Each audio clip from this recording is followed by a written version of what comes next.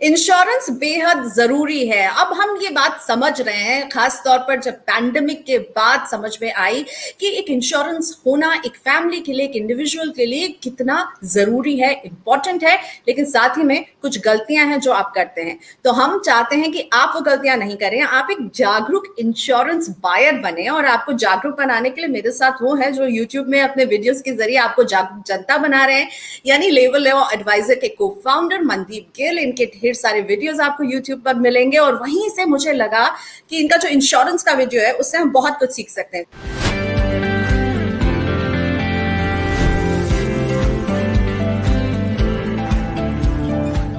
Hi Mandeep thank you so much तो insurance आपका बहुत ही फेवरेट टॉपिक है और मेरा भी, क्योंकि मुझे लगता है हम उसमें बहुत गलतियाँ करते हैं। मैंने खुद भी बहुत गलतियाँ की हैं और उससे सीखा है और आपके वीडियो से मैं सीखती हूँ ही।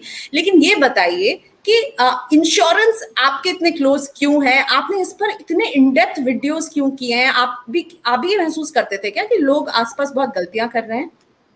First of all thank you so much for having me here बहुत अच्छा लग रहा है आपसे जुड़ के एंड uh, आपका चैनल पे भी बहुत अच्छा अच्छा कंटेंट है। तो जब से आपने मुझे बताया तो I have also started following your channel thank you so much and आपने बहुत अच्छा क्वेश्चन पूछा। इट्स लाइक like, कोई एक कोई एक ऐसा इंसान ही इंश्योरेंस पे ऐसे वीडियोस बना सकता है जो वो चीज़ें फेस कर चुका है। अगर आप किसी इंश्योरेंस कंपनी के सीईओ को बोलोगे कि भाई एक यूट्यूब वीडियो बनाओ इंश्योरेंस समझाओ तो you know what I am trying to say he has a stake in the insurance space तो maybe he won't be he won't be able to be that transparent even even if he wants to and at the same time me as a consumer already faced some of the issues that millions of people in India are uh, facing currently. तो मेरे पापा के पास एक endowment policy थी जिसका life cover था सिर्फ़ दो लाख रुपए। एंड इट्स लाफेबल मतलब दो लाख रुपए का life insurance is as good as nothing and if you know about Pradhan Mantri Jeevan Jyoti बीमा योजना वो दो लाख रुपए का लाइफ इंश्योरेंस बारह रुपए में भी मिलता है। तो उस बात के वी वर पेइंग बीस हज़ार रुपये एवरी ईयर एंड उसका कुछ बेनिफिट हमको ऐसा दिख नहीं रहा था।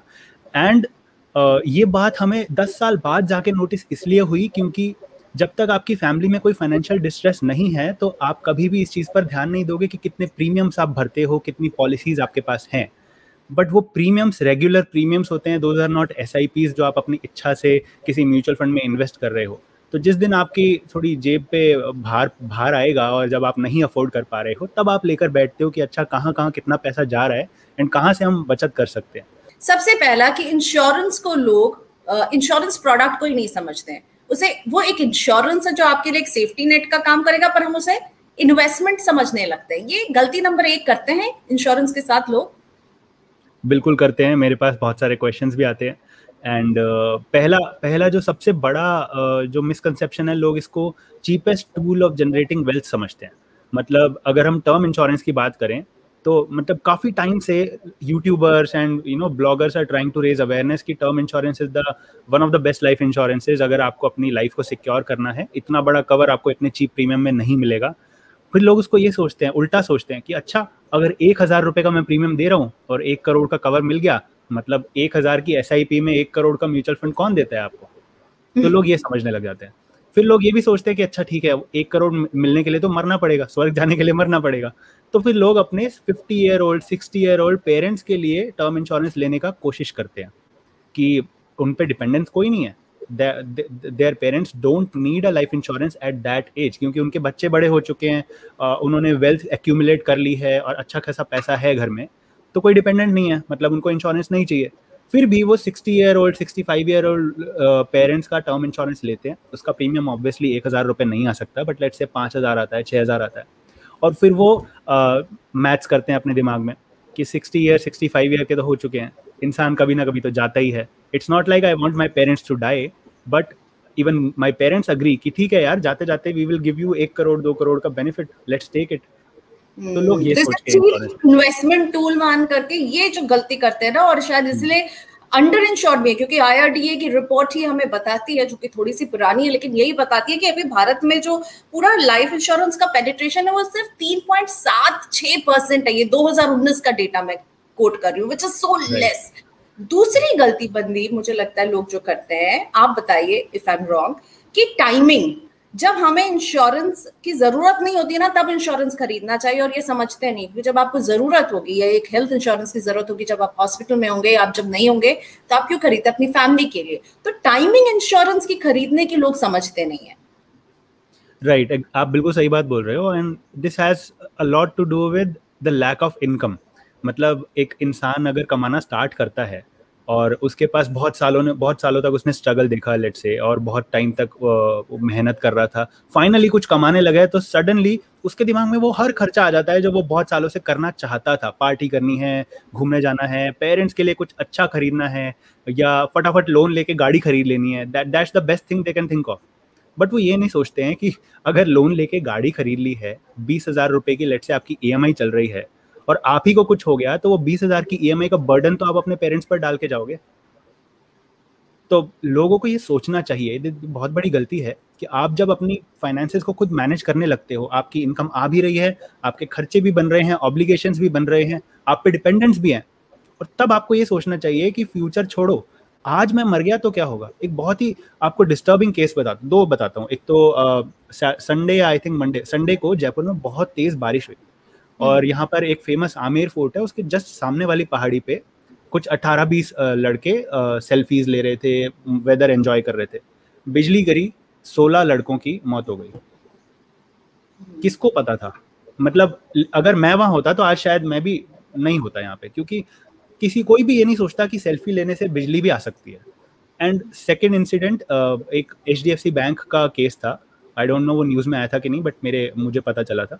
25 year uh, 25 year old guy just died sitting on a table. कुछ पता नहीं चला कैसे। बस मैं यहाँ बैठा हूँ और मैं गया। लोग ये नहीं सोचते हैं कि कुछ भी हो सकता है। और yes. आज अगर हम मर जाते हैं तो घर वालों को घर वालों को लाइबिलिटीज देना चाहते हैं या कुछ पैसा देना चाहते हैं? वो बहुत बड़ी बात है जो लोग सोचते नहीं थिंक ऑफ़ द वर्स्ट और इंश्योरेंस खरीदिए। अब जब इंश्योरेंस खरीदते हैं तो उसे खर्चा मानते हैं। इसलिए रिटर्न ऑफ़ प्रीमियम जैसे प्लान जो है वो बड़े अच्छे लगते हैं कि उसमें प्रीमियम जो मैं दे रही हूँ वो मुझे अगर मैं ज़िंदा रह गई तो वो मुझे मिल रहा है। इससे अच्छी बात क्या हो सकती है? पैसा आना तो अच्छा ही लगता है सबको मंदी हम्म, हम्म, हम्म।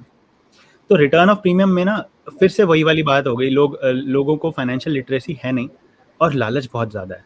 और लोग ये नहीं सोचते कि इंश्योरेंस वो ले क्यों रहे हैं। वो इसलिए ले रहे हैं कि भाई आज मर गए तो अपने को अप्रोप्रिएट कवर मिले। बट लोगों को ये लगता है कि अगर हम नहीं मरे क्योंकि term insurance as the name suggest आप 65 तक का 75 जो भी एज आप डिसाइड करोगे उस एज तक के लिए आप कवर्ड हो उसके बाद अगर आपकी डेथ होती है तो आपको कोई पैसा नहीं मिलता। तो लोग ये सोचते हैं कि 65 का सबसे सबसे बड़ा क्वेश्चन ही लोगों को ये आता है अगर मैं 65 की एज का लूँगा तब तक तो मैं पक्का नहीं मरूँगा। हम्म। लोगों को ये लगता है स्टैटिस्टिक्स देख लेते हैं नहीं 65 तक तो लोग ज़िंदा रहते हैं। तो मैं जब मरूँगा ही नहीं तो मेरा सारा प्रीमियम पे किया हुआ वेस्ट हो जाएगा। खर्चा हो गया तो। खर्चा हो गया। तो इसी चीज़ को कैपिटलाइज किया कंपनीज़ ने। अब उनकी भी गलती नहीं है। वो लोग बिज़नेस करने के लिए बैठे हैं उनको दिमाग दिया भगवान ने और वो यूज़ कर रहे हैं एंड वो पैसा कमा रहे हैं। हम गलती है कस्टमर्स की जो जागरूक नहीं है। उनको ये लग रहा है कि एक हज़ार रुपए का प्रीमियम अगर वो 2021 में भर रहे हैं और 2080 में उनको वो एक ही हज़ार रुपए वापस मिल रहे हैं तो वो एक हज़ार रुपए रहेंगे नहीं। वो इन्फ्लेशन के कारण बहुत कम हो जाएँगे। अगर कंपनी मुझे बोले कि तुम्हारे एग्जिस्टिंग प्रीमियम में मैं रिटर्न ऑफ़ प्रीमियम का फीचर डाल देती हूँ तो मैं खुशी खुशी ले लूँगा। क्योंकि मुझे एक्स्ट्रा पर मंथ एक्स्ट्रा अपनी जेब से कुछ नहीं देना पड़ रहा। बट रिटर्न ऑफ़ प्रीमियम को अवेल करने के लिए आपका जो मंथली प्रीमियम है वो ऑलमोस्ट डबल हो जाता है। तो अगर आप डबल पैसा आज पे कर रहे हो only to receive it by you know heavy devaluation after 50 years 60 years तो फिर ये काहे का इन्वेस्टमेंट है? It's like a mutual fund जो आपको नेगेटिव रिटर्न्स दे रहा है। तो hmm. आप अगर एक्स्ट्रा पैसा आज अगर अपनी जेब से अफोर्ड कर सकते हो अगर आपको म्यूचुअल फंड पसंद नहीं है एफडी में भी डाल दोगे हर महीने थोड़ा थोड़ा पैसा तो वह एटलीस्ट उसकी वैल्यू तो बरकरार रहेगी। बट आप अगर आज प्रीमियम देकर कल वही अमाउंट वापस ले रहे हो तो उसकी वैल्यू कुछ नहीं है। सेम चीज़ कंपनीज़ यूज़ करती हैं यूलिप में मोर्टैलिटी चार्ज के केस में। मोर्टैलिटी चार्ज में कंपनी बोलती है कि आपके जो यूनिट्स हैं इन्वेस्टमेंट के उसमें से हम काट लेंगे हर महीने या आई थिंक हाँ हर महीने ही कटता है वो। और जब आपका मेचोरिटी हो जाएगा पॉलिसी का तो वो जितना भी चार्ज कटा था वो वापस दे देंगे। और इसको एडवर्टाइज किया जाता है कि free of cost ULIP plan इसमें कोई कॉस्ट ही नहीं है। फंड मैनेजमेंट को अगर छोड़ दें तो कोई कॉस्ट नहीं है क्योंकि जो कॉस्ट लग रही है वो तो वापस आ जाएगी। But hmm. पहली बात मोर्टेलिटी चार्ज ठीक है थोड़ा बहुत आपकी इन्वेस्टमेंट वैल्यू को कम कर देता है और आपके रिटर्न कम बनते हैं बट वही बात है यहाँ पर दो तरह से नुकसान हो रहा है। ये चार्ज आप अपनी जेब से अलग से पे नहीं कर रहे हैं। ये चार्ज आपके फंड वैल्यू में से काट के उधर पे, पे कर दिया जाता है इंश्योरेंस कंपनी को आपको पता भी नहीं चलेगा। तो अगर आज वो एक हज़ार रुपए मेरे फंड वैल्यू में से कम हो रहा है मतलब वो अगले बीस सालों तक वो एक हज़ार रुपए पैसा कमाने की अपॉर्चुनिटी भी खो गया और जब वापस मुझे बीस साल बाद वो एक हज़ार रुपए मिलेंगे तो वो इन्फ्लेशन के कारण और ड्रॉप हो चुके होंगे। तो दो तरह से मुझे नुकसान हो रहा है। तो इट्स लाइक like, अगर आपको बीस अगर आपको पंद्रह परसेंट के रिटर्न एक्सपेक्टेड थे बीस साल के ड्यूरेशन में तो आपको बीस परसेंट का नुकसान हो रहा है क्योंकि पंद्रह परसेंट का तो प्रॉफिट नुकसान हुआ और पाँच परसेंट इन्फ्लेशन पकड़ लो। हम्म। तो कंपनीज़ इसको यूज़ करती हैं कि हम आपको वापस दे देंगे ये फ्री ऑफ़ कॉस्ट है और लोगों को भी लगता है कि और मुझे काफ़ी लोगों ने क्वेश्चन पूछा। मैं उनका आंसर बड़ा पोलाइटली करता हूँ बट मैं सोचता हूँ कि मुझे आई विश कि वो थोड़ा और सोचें इस बारे में। खुद सोचें कि अच्छा एक हज़ार रुपए अगर कंपनी को वापस ही करने हैं तो आज काट क्यों रहे हैं? उसके पीछे हम्म। कुछ तो कुछ तो लॉजिक होना चाहिए ना। लॉजिक थोड़ा सा होना चाहिए। तो अब आते हैं वो जो मिस्टेक अगला है। जिसके लिए आप कहते हो, एक कान से सुनो, दूसरे से निकालो। यू मनी बैक इंडाउमेंट इतनी दुश्मनी क्यों? और ये नहीं तो फिर क्या सही है? देखो, मैं पहले, सबसे पहले यूलिप पे आता हूँ और उसके बाद एक कॉमन रीजन दूँगा, सारी पॉलिसीज़ को एक्सेप्ट टर्म इंश्योरेंस में सारी पॉलिसीज़ को अवॉइड करने का ओपिनियन रखता हूँ। मैं रिकमेंडेशन तो दे नहीं सकता बट या यूलिप यूलिप पे आता है सबसे पहले। It's a combination of life insurance plus investment and इसका स्ट्रक्चर म्यूचुअल फंड के स्ट्रक्चर से एकदम सिमिलर है। जैसे आप म्यूचुअल फंड में इन्वेस्टमेंट करते हो आपको यूनिट्स मिलते हैं। सिमिलरली आप यूलिप में इन्वेस्टमेंट करोगे आपको उसके अगेंस्ट भी यूनिट्स मिलेंगे। और यूलिप में भी एक कंपनी के आठ दस फंड्स हो सकते हैं। For example large cap large cap plus mid cap hybrid fund हो सकता है डेट फंड हो सकता है। तो आप चूज़ कर सकते हो आपका पैसा uh, किस फंड में जाएगा according to your risk and according to your expectation of return वो बात बिल्कुल अच्छी है कोई दिक्कत नहीं है। और इसमें एक एक फ़ायदा ज़रूर मैं लिस्ट करूँगा। यहाँ म्यूचुअल फंड में ये फ़ायदा होता नहीं है यूलिप में होता है। अगर आप अपना फंड स्विच करना चाहते हो तो म्यूचुअल फंड में आपको अपने यूनिट्स को बेचना पड़ेगा और दूसरा फंड खरीदना पड़ेगा और बेचते ही हम्म। आप पे लग जाएगा capital gain tax but ULIP में अगर आपने 20 साल 25 साल की पॉलिसी लिया उसमें आप जितनी बार भी उसी ए के फंड्स में स्विच करोगे तो कोई टैक्स लाइबिलिटी नहीं बनती है। okay. वो मुझे समझ आता है कि अच्छी बात है। जहाँ बुरी बात है वो ये कि अगर आप एक लाख रुपए पर एनम का प्रीमियम देते हैं तो उसके अगेंस्ट आपको मोस्ट केसेस में दस लाख रुपए का लाइफ इंश्योरेंस मिल जाएगा। ये ज़्यादा भी दे सकती हैं कंपनीज़ वो ज़्यादा क्यों नहीं देती उस पर मैं आता हूँ बट दस लाख रुपए मतलब आपके एनुअल प्रीमियम का टेन टाइम्स होना चाहिए। ये क्या ये ये रूल इसलिए रखा गया है Uh, मतलब ये रूल स्टेट ये करता है कि अगर आप ten times premium life cover दे रहे हो अपने कस्टमर को तो आपका कस्टमर टैक्स बेनिफिट अवेल कर सकता है। तो उसके लिए ये मिनिमम टेन टाइम्स का रूल रखा गया है। उसके बिना कोई खरीदेगा नहीं पॉलिसी तो कंपनीज़ वही कर रही हैं जो बेयर मिनिमम उनको करने का रिक्वायरमेंट है जिसकी वजह से लोग पॉलिसी खरीद लें। बट कस्टमर जब पॉलिसी खरीदता है तो उसको ये सोचना चाहिए कि क्या वो लाइफ कवर उसकी इनकम का पंद्रह से बीस गुना एटलीस्ट है या नहीं। मतलब वो नाम के लिए एक कवर आपको मिल रहा है। Right but problem main problem मैं आपको बताऊँगा। तो ये तो हो गया बेसिक यूलिप का स्ट्रक्चर आप प्रीमियम देते हो आपका कुछ पार्ट इंश्योरेंस प्रीमियम में जाता है जिसको हम बोलते हैं लाइक मोर्टैलिटी चार्ज और कुछ पार्ट जाता है आपका इन्वेस्टमेंट सॉरी मेजोरिटी पार्ट जाता है इन्वेस्टमेंट में। अब न्यू एज जो यूलिप है उसमें दो ही टाइप के चार्ज हैं एक तो मोर्टैलिटी चार्ज और दूसरा है फंड मैनेजमेंट चार्ज दोनों में जीएसटी होता है फंड मैनेजमेंट चार्ज में जीएसटी आपको दिखाई नहीं देगा क्योंकि वो एक ओवरऑल uh, परसेंटेज होता है उसी के अंदर वो इंक्लूडेड होता है। और mortality charge plus 18 percent GST आपके जो टोटल चार्जेस हैं। अगर आपने ऑनलाइन लिया है न्यू एज यूलिप लिया है उसमें और किसी तरह के चार्जेस नहीं है या आपने वेरीफाई कर लिया है तो। तो ऐसे देखा जाए तो आजकल के यूलिप के चार्जेस बहुत कम हो गए प्रॉब्लम कहाँ आती है वो मैं बताता हूँ आपको। जिन लोगों की इनकम आठ लाख से कम है, उनको इकोनॉमिकली वीकर सेक्शन में डाल दिया। And if I am not wrong ये नंबर 88 टू 90 परसेंट है इंडिया में। मतलब इंडिया की 90 परसेंट जनता आठ लाख से तो नीचे ही कमा रही है। और पैंडमिक के बाद क्या हो रहा है वो आपको भी पता है, मुझे भी पता है। दैट मीन्स अगर कोई इंसान यूलिप लेता भी है जोश जोश में आके उसने कमिट कर दिया कि मैं हर साल आपको पचास हज़ार रुपये का प्रीमियम दूँगा या एक लाख का प्रीमियम दूँगा according to his current budget उसने तो फ्यूचर देखा नहीं है। उसने फिर से ओवर एस्टिमेट कर लिया कि मेरी जॉब कभी जाएगी नहीं, मेरा बिज़नेस कभी ठप नहीं होगा। मैंने ऐसे भी लोग देखे हैं जिनका बिज़नेस ठप हुआ है और मैंने ऐसे भी लोग देखे हैं जिनकी जॉब चली गई है। तो नथिंग इज़ सेफ़ तो ऐसा इंसान, मान लो फाइव ईयर्स फ्रॉम नाउ पाँच साल तक उसने प्रीमियम भर दिया, अब वो प्रीमियम नहीं पे कर पा रहा है, क्योंकि उसकी जॉब चली गई है या कोई भी फाइनेंशियल डिस्ट्रेस है। मान लो, उस इंसान ने हेल्थ इंश्योरेंस नहीं लिया था और उसकी फैमिली में दस बारह लाख का बिल आ गया तो वो ऑब्वियसली अपना प्रीमियम अफोर्ड नहीं कर पाएगा। उस केस में क्या होगा? उस केस में कंपनी बोलेगी तुम्हारी लाइफ में ऑलरेडी बहुत चार तरह की दिक्कत चल रही हैं। तुम स्ट्रगल कर रहे हो फाइनेंशियली हम थोड़ी सी और प्रॉब्लम देना चाहते हैं। प्रॉब्लम ये है कि हम तुम्हारा लाइफ इंश्योरेंस कर देंगे आज से कैंसिल दूसरा प्रॉब्लम हम दे रहे हैं कि अगर आपका यूलिप का लॉक इन अभी तक खत्म नहीं हुआ है तो आप अपना यूलिप का फंड वैल्यू विड्रॉ नहीं कर सकते। लॉक इन तक तो उसमें रखना पड़ेगा। बट अब वो मूव हो जाएगा डिसकंटिन्यूड फंड में। वहाँ पर आपको। चार परसेंट के हिसाब से रिटर्न मिलेगा। तो एक तो आप वैसे ही फाइनेंशियली स्ट्रगल कर रहे हो और अगर उस टाइम में आप मर जाओगे तो अब आपके पास कोई लाइफ इंश्योरेंस नहीं है। और आपने जो मेहनत से पैसे जोड़ जोड़ के इन्वेस्ट किए थे अब उस पर चार परसेंट का ही रिटर्न भी कम हो गया। रिटर्न भी कम हो गया। तो इसीलिए मैं बार बार बोलता हूँ कि never mix insurance and investment क्योंकि इंश्योरेंस का जो प्रीमियम है वो एसआईपी नहीं है। There a big difference between S and premium S में आप अपनी मर्ज़ी से अपनी हैसियत से इन्वेस्ट करते हो। जब मन नहीं है, जब फाइनेंशियल डिस्ट्रेस है तो एसआईपी रोक सकते हो। आपके एग्जिस्टिंग इन्वेस्टमेंट पे कोई पेनल्टी नहीं लगती है। और आप चाहो तो म्यूचुअल फंड से अपना पैसा विड्रॉ भी कर सकते हो, अगर सही में ज़रूरत है तो। Unless we are talking about E L S S E L S S में तीन साल का लॉक इन रहता है। तो बाकी म्यूचुअल फंड में से आप कर सकते हो विड्रॉ और आपका जो टर्म इंश्योरेंस अगर आपने ये क्या होता है मैंने टर्म इंश्योरेंस लिया एक करोड़ का, और म्यूचुअल फंड में अपना इन्वेस्टमेंट कर दिया। म्यूचुअल फंड में लेट से मैं पचास हज़ार की मंथली एसआईपी करता हूँ। तीन चार साल बाद जॉब चली जाती है मेरी बिज़नेस ठप हो जाता है। मैं अफोर्ड नहीं कर पा रहा पचास हज़ार मंथली पचास हज़ार तो एक घर चलाने के लिए मोर देन सफिशियंट होता है। तो मैं उसको ईजिली रोकूँगा। म्यूचुअल फंड की एस रोकूँगा अपना घर चला लूँगा उस पैसों से। और जो एक हज़ार रुपये का प्रीमियम मैं पे कर रहा था अपने टर्म इंश्योरेंस के टूवर्ड्स वो वो, वो कंटिन्यू रख सकता हूँ। मोस्ट केसेस में मैं उसको अफोर्ड कर सकता हूँ। एंड अच्छी बात यह है कि वो एक हज़ार का प्रीमियम इंक्रीज नहीं होगा। तो दस साल बाद भी अगर एक हज़ार रुपए ही दे रहा हूँ तो वो उस टाइम के हिसाब से पाँच सौ रुपए छह सौ रुपए ही बनेंगे।